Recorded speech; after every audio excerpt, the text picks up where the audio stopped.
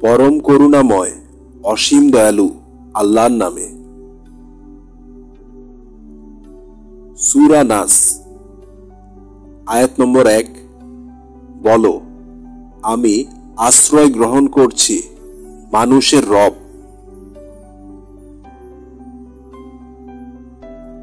আয়াত নম্বর দুই, মানুষের অধিপতি। আয়াত নম্বর তিন, মানুষের উপাস্যের নিকট।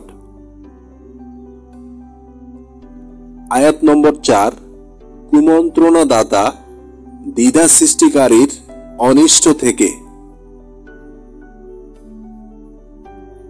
আয়াত নম্বর পাঁচ, যে মানুষের অন্তরে কুমন্ত্রণা দেয়।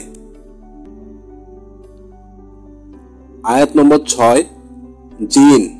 কিংবা মানুষের মধ্য থেকে